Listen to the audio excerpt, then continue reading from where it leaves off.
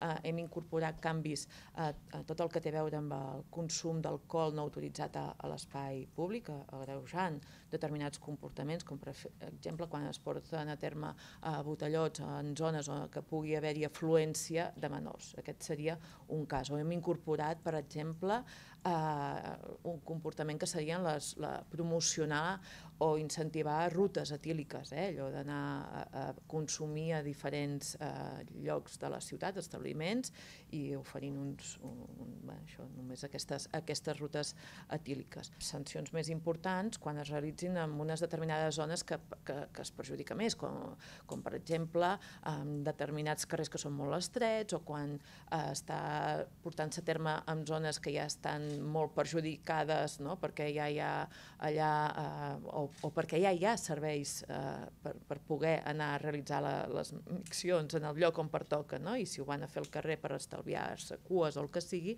doncs això estarà eh, eh, més, més, san, més sancionat. Eh? Amb la via administrativa sancionarem aquelles conductes que puguin tenir eh, connotacions sexuals i que atentin contra la dignitat de les, de les persones. No? I podríem ja eh, aplicar la, la, en aquesta reforma doncs, la, la, una sanció administrativa, eh? al marge que després això pugui tenir un recorregut eh, penal. Eh? Òbviament, si va per la via penal, s'aturaria la possible sanció administrativa.